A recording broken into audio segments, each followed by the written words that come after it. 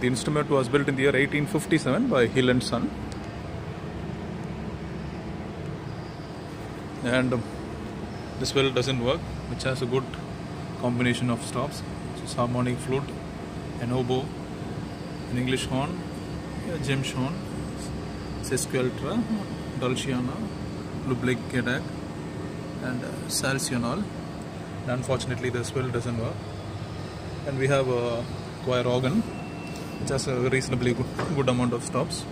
Includes a piccolo, a violoncello,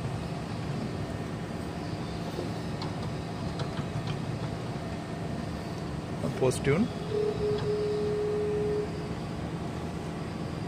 Vox Angelica, principal, a couple of stops as well, which includes swell to choir, swell to great, great to pedal, and choir to pedals.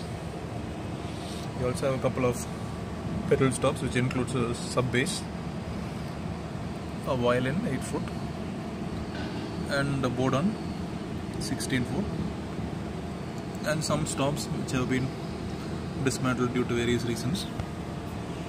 On the great, we have a diapason 4 foot and a diapason 8 foot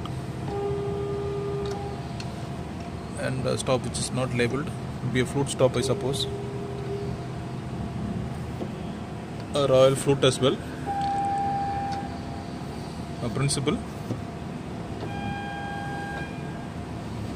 A gamba. 15th a trumpet which most of the notes don't sound. And also a mixture so this is the organ at St. George's Cathedral thank you